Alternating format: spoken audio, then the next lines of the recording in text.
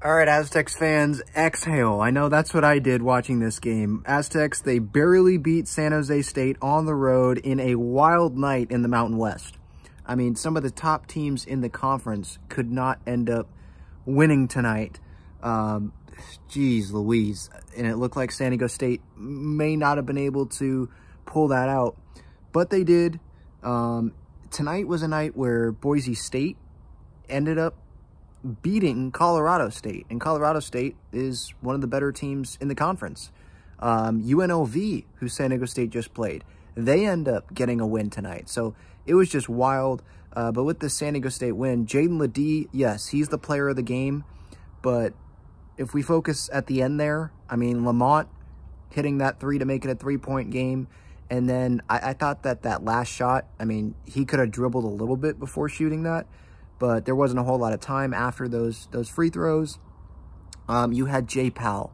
My goodness. Actually, before getting to Jay Pal, Micah Parrish, with the steal that he had, um, I mean, San Jose State, uh, Cardenas, and then I'm blanking on the other guy's name, but they were really good tonight. Like, sometimes you got to give props to San Jose State. They're not anywhere near San Diego State's level, but they shot really well. Whenever San Diego State made a shot, it seemed like San Jose State made a shot.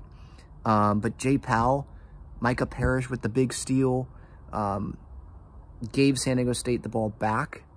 Um, then San Jose State has an opportunity to, I think, tie it. They were down by two, and you're seeing the opening for San Jose State. Jay Pal wasn't covering the big man.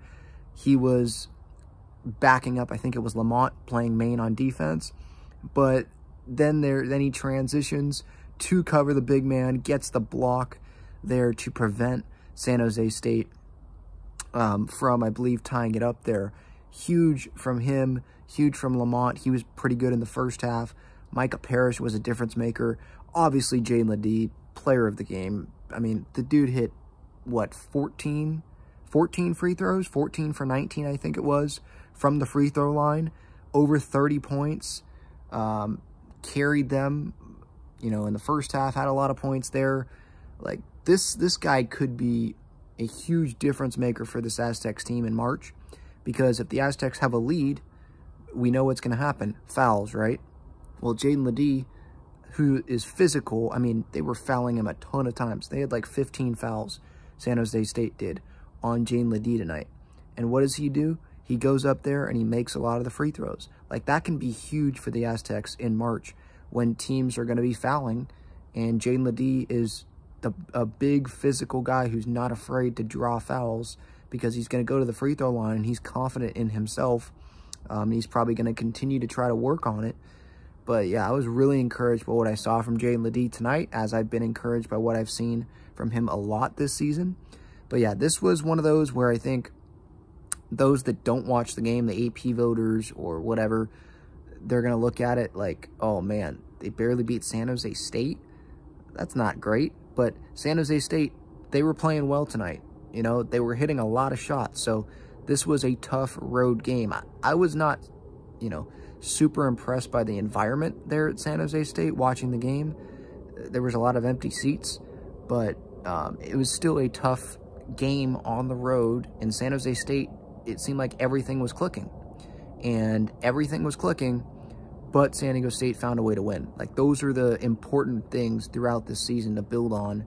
Um, and they take advantage on a night where some other top teams in the conference or teams that were favored in games or should have won games, they ended up not winning games. So a wild night.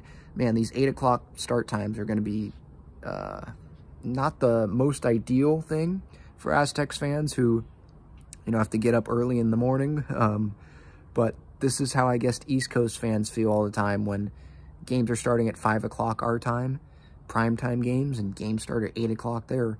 It, it ends up being a late night.